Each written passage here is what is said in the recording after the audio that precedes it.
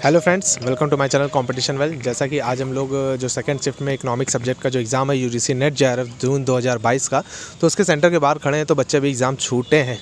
Exam दे के छूटे हैं तो उनका रिव्यू लेकर हम आपको बताएँगे कि उनका एग्ज़ाम का लेवल कैसा आया था।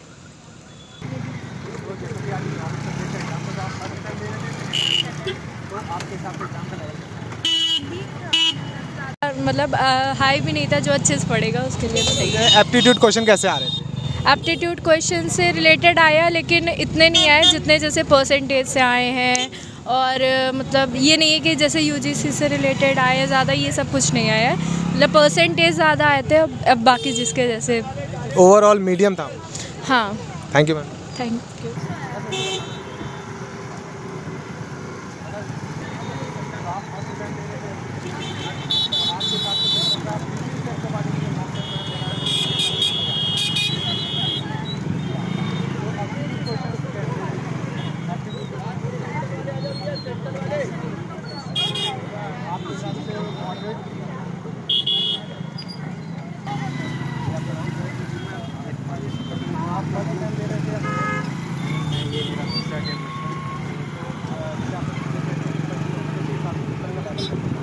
paper का लेवल देखिए अब राष्ट्रीय लेवल का पेपर है तो पेपर का लेवल मतलब ठीक था और कुछ टफ क्वेश्चन तो आपके जो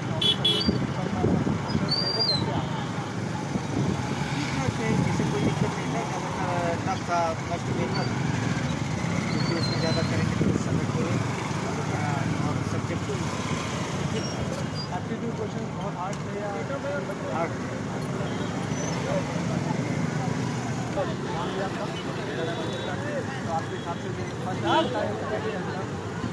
मेरा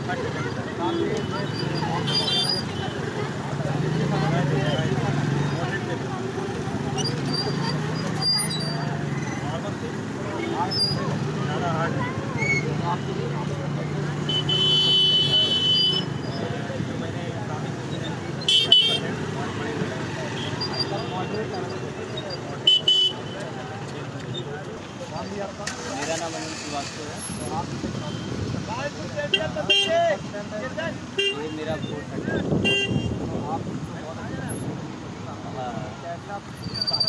अगर जैसे पहले के क्वेश्चन का अच्छा आया था लेकिन टाइम टेबल क्योंकि ऑप्शन की संख्या बढ़ा दिया था और उसमें से आपको पता करना था कि कौन कौन सा सही है कौन कौन सा और पेपर का डेप्थ बढ़ा दिया है। और कॉन्सेप्चुअल थोड़ा कॉन्सेप्ट को ज़्यादा लाया है। और इस पेपर में क्या है पहले आपको थ्योरेटिकल से भी चीज़ें चल जाती थी लेकिन अभी आपको करंट करना है।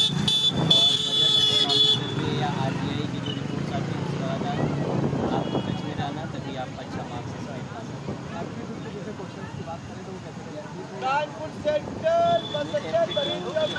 फ़र्स्ट पेपर की बात करें तो हमेशा की तरह ही पेपर आए थे। और इस बार का जो डी था। वो पिछले बार की और अन्य की अपेक्षा में थोड़ा सा लेकिन फिर भी था उस पर कर लिया गया थोड़ा टाइम।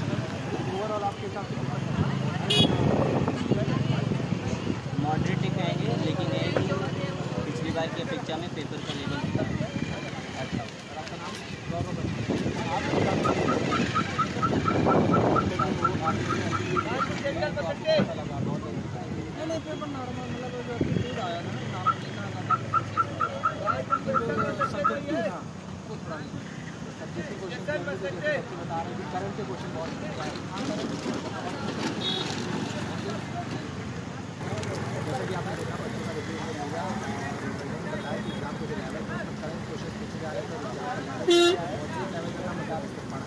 वो आसानी से कर सकता है।